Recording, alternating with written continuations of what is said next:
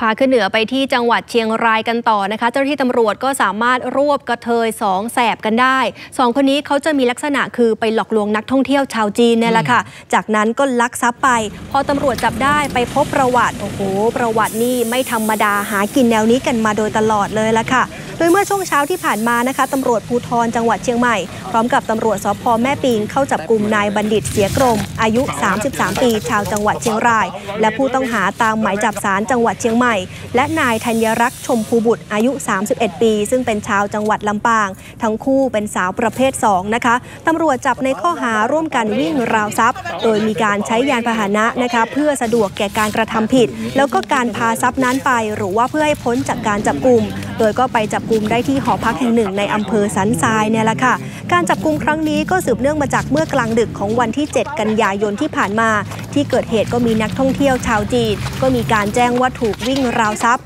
อยู่ที่บริเวณท่าเรือหางแมงป่องนะคะ ที่อำเภอเมืองจังหวัดเชียงใหม่ คนร้ายเนี่ยได้กระเป๋าเงินมีเงินสดสกุลจีนไปจำนวน 2,900 หยวน คิดเป็นเงินไทยก็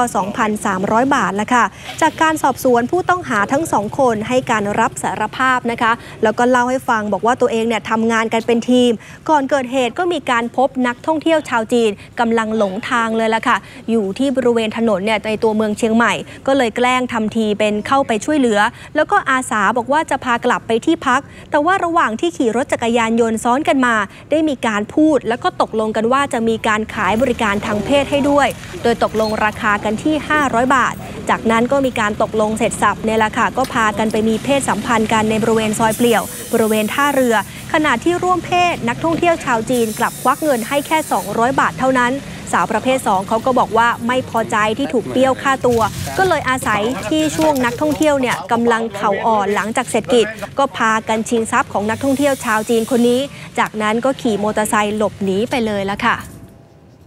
เพศแหละค่ะ อ๋อซื้อบริการใช่ไหมใช่คะ ค่ะแล้วมีชักจูงกันเลยเป้าหมายเหยื่อก็เขาคุยกับน้องคนเนี้ยค่ะ ค่ะ ค่ะส่วนส่วนมากจะเป็นชาวชาวต่างชาติรับแต่ชาวต่างชาติอย่างเดียวค่ะ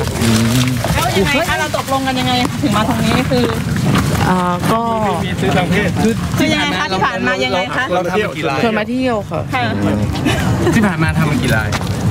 ที่เพิ่งรายแรกแรกของคนจีนเนี่ยค่ะต้องถามน้องพระพ่อหนุ่มเป็นคนขับรถนี่แหละค่ะ พอมีการรับสารภาพเล่าเหตุการณ์ที่เกิดขึ้นตำรวจเขาก็คาดกันว่าผู้ต้องหาเคยก่อเหตุลักษณะนี้มาแล้วหลายครั้งด้วยกันครับแล้วก็มีทั้งนักท่องเที่ยวชาวเอเชียชาวยุโรปเนี่ยแหละ แต่ว่าผู้เสียหายส่วนใหญ่ก็ไม่มีการมาแจ้งความแต่อย่างใดก็เลยไม่ได้มีการดำเนินคดีมากมาย แต่พอไปตรวจสอบประวัติ รู้เลยว่าทำลักษณะนี้กันมาอย่างโชคโชนเลยละค่ะ ดูรายการสดช่อง 118 พร้อมกันได้ทุกช่องทางดังต่อไปนี้ หรือดูรับชมย้อนหลังได้ที่ Daily Motion และ YouTube New